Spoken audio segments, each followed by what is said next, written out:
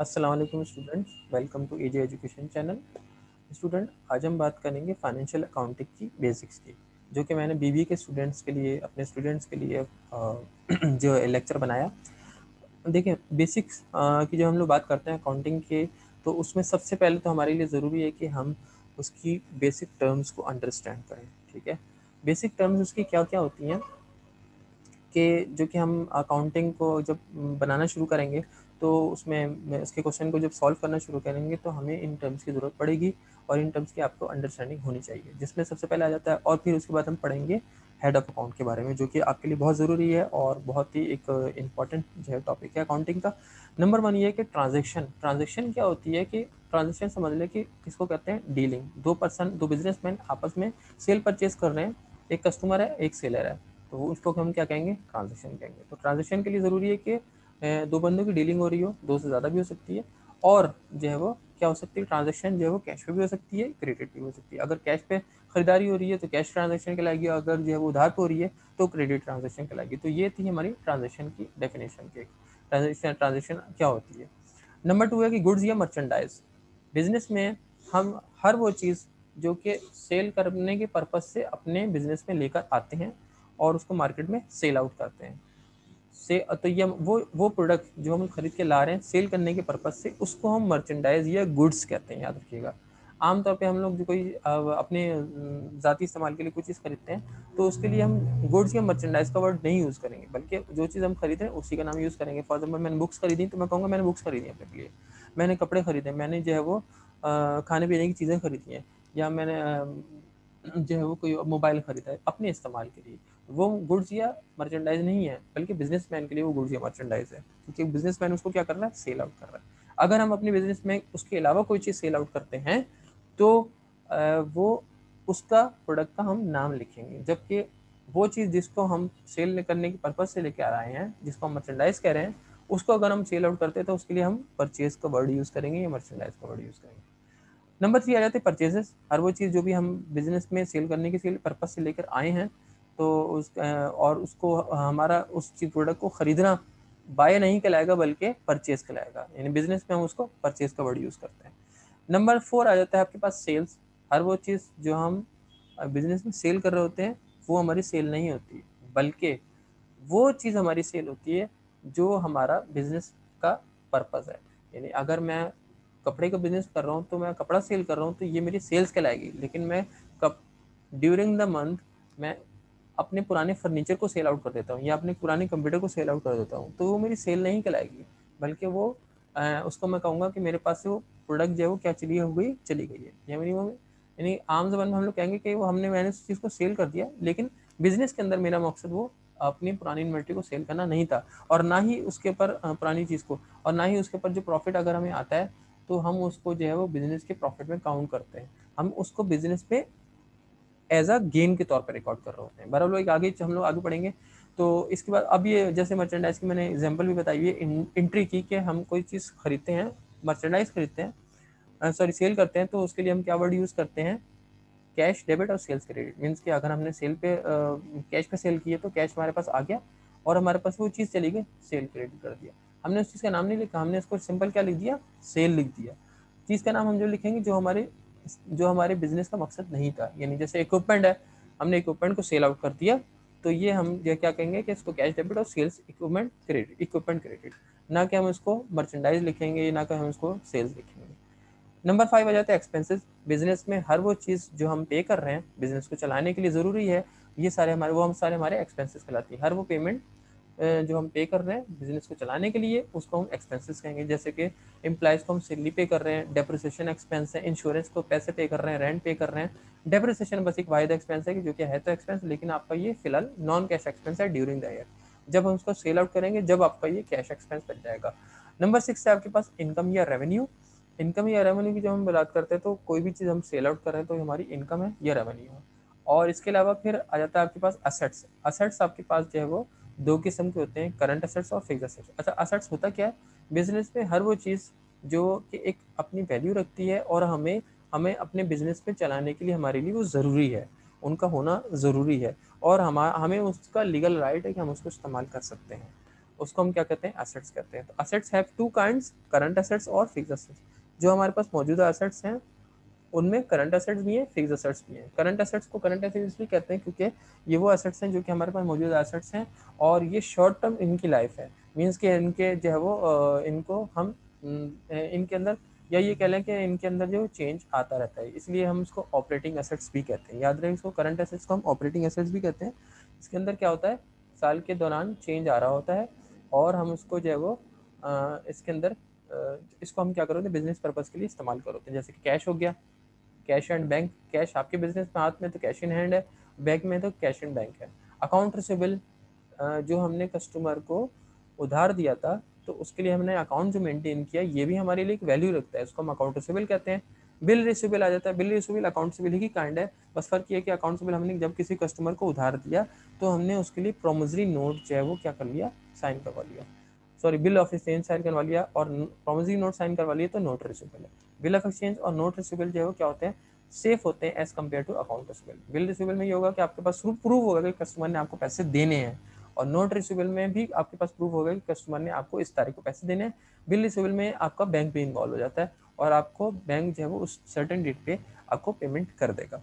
Inventory हो गई office supplies हो गई प्रीपेड्स हो गई ये सारे हमारे करंट असेट्स हैं। इन्वेंट्री ऑफ़िस सप्लाईज तो आपको पता है कि जो हमने इन्वेंट्री बिज़नेस में सेल करने की पर्पज से बाई की वो हमारी इन्वेंट्री ऑफ़िस सप्लाई जो हमारे ऑफ़िस के इस्तेमाल के लिए स्टेशनरी वगैरह और प्रीपेड्स क्या कहते हैं? प्रीपेड्स कहते हैं हम कोई भी ऐसा एक्सपेंस जो हम एडवांस के तौर पर पे कर देते हैं।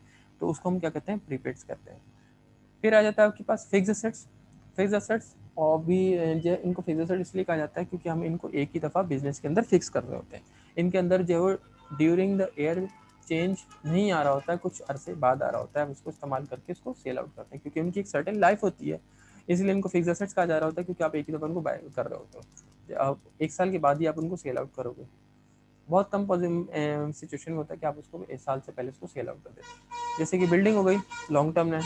लैंड आपकी लॉन्ग टर्म है। ऑफ़िस इक्विपमेंट लॉन्ग टर्म है। मशीनरी फर्नीचर फिक्सचर वगैरह, ये सारे क्या है लॉन्ग टर्म है। और हम इसको इस्तेमाल कर रहे हैं। गुडविल क्या है? गुडविल हमारा फिक्स एसेट्स है, लेकिन ये इनटेंजिबल फिक्स एसेट्स कहलाता है। याद रखिएगा फिक्स एसेट्स हमारे पास दो तरह के होते हैं। एक करंट फिक्स एसेट सॉरी एक टेंजिबल फिक्स एसेट्स और एक intangible fix asset tangible fix asset तो यही सारे हैं जो हमें नज़र आ रहे हैं विजिबल हैं।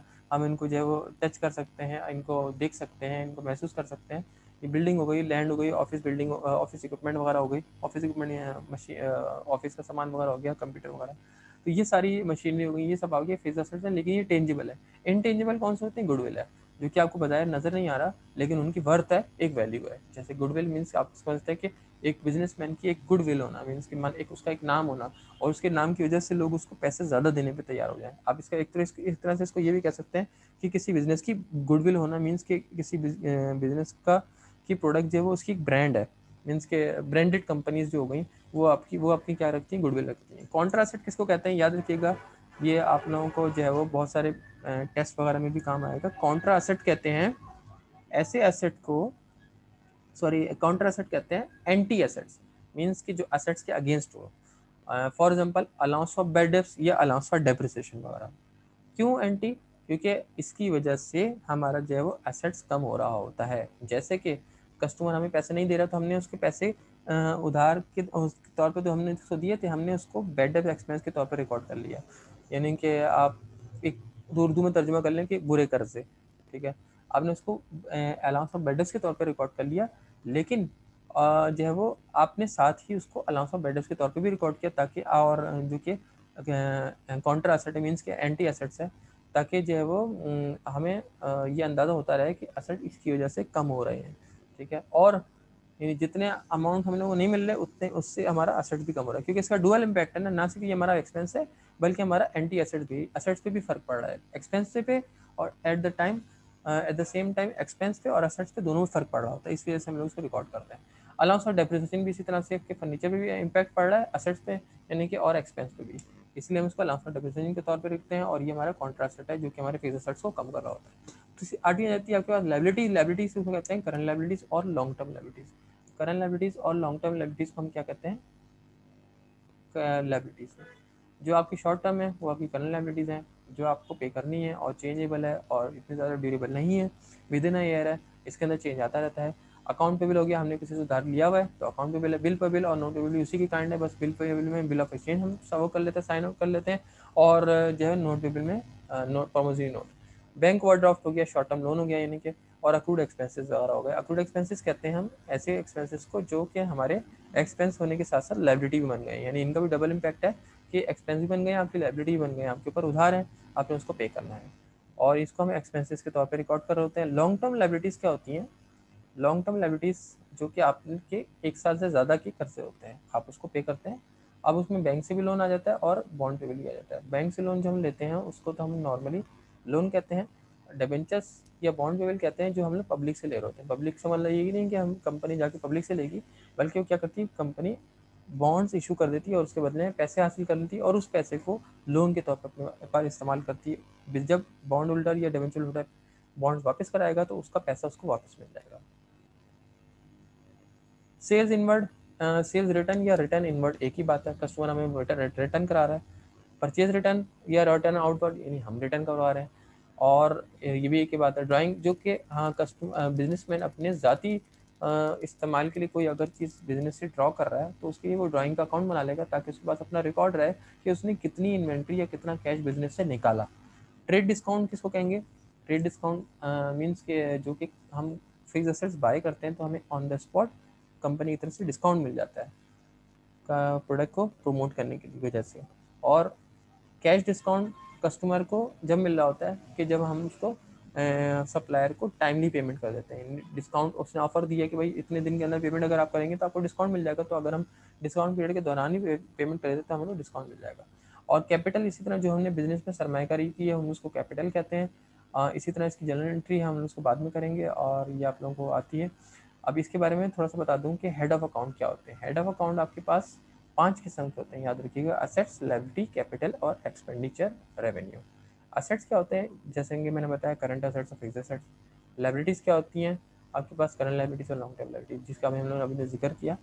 तो करंट असेट्स और लॉन्ग टर्म करंट असेट्स और फिक्स असेट्स जैसे कि मैंने बताया कि जो कि बिज़नेस में यूज़ हो रहे होते हैं और उनके अंदर कोई चेंज आ रहा होता है और वो शॉर्ट टर्म होते हैं। ये सारे करंट असेट्स हैं जिनमें cash account receivable merchandise inventory ये सब आ जाते हैं। करंट लाइबिलिटीज करंट एसेट्स के अंदर फिक्स एसेट्स के अंदर आपके पास मशीनरी बिल्डिंग वगैरह आ जाती है। और ये सब बाय नेचर क्या होते हैं? याद रखिएगा डेबिट होते हैं। इसकी हम लोग आगे, वो पढ़ते हैं रूल्स एंड रेगुलेशन और इसी तरह लाइबिलिटीज़ लाइबिलिटीज़ में करंट लाइबिलिटीज़ और लॉन्ग टर्म लाइबिलिटीज़ हैं, जो हमारी ज़िम्मेदारी है, हमने पे करनी है। ये हमारी क्या होती हैं? क्रेडिट होती है बाय नेचर बाय नेचर इनका क्रेडिट ही होंगी। इसी तरह कैपिटल है बाय नेचर क्रेडिट होता है। एक्सपेंसिस हैं बाय नेचर डेबिट होते हैं। रेवेन्यू आपका बाय नेचर क्या होता है? क्रेडिट होता है। और इनके अंदर अगर इजाफा होगा तो वो अपनी नेचर के अगेंस्ट चले जाएँगे। यानी असेट्स क्रेडिट भी हो जाएगा लाइब्रेरी डेबिट हो जाएगी कैपिटल डेबिट हो जाएगा एक्सपेंडिचर क्रेडिट हो जाएँगे और रेवेन्यू आपका डेबिट हो जाएगा। तो ये रूल्स ऑफ़ डेबिट और क्रेडिट है इन हेड ऑफ़ अकाउंट के। इन हेड ऑफ़ अकाउंट को हम नेक्स्ट उसमें जो तफसील से पढ़ेंगे अभी आप लोगों के टेस्ट के लिए ये काफ़ी है uh, मेरे स्टूडेंट्स के लिए। तो आप इन लोगों को आप इन टॉपिक को अच्छी तरह से पढ़ें समझें और रीड करें। और जनरल जहाँ बात रही कि जनरल एंट्री और जनरल लेजर और ट्रायल बैलेंस की तो वो हम जब ही कर सकते हैं कि जब हम इन सबको समझते हों। जैसे कि मैंने बताया कि ये रूल रेगुलेशन को अगर आप समझते हैं तो आप इजीली एंट्री बना लेते हैं, ठीक है? तो ये आपका टॉपिक है और टॉपिक से रिलेटेड आपको जो है वो दिया जाएगा। आप इसको अच्छी तरह से पढ़ें और इसी से आपको जो है बहुत सारी इन्फॉर्मेशन मिल जाएगी। चैनल को लाइक करें सब्सक्राइब करें। Thank you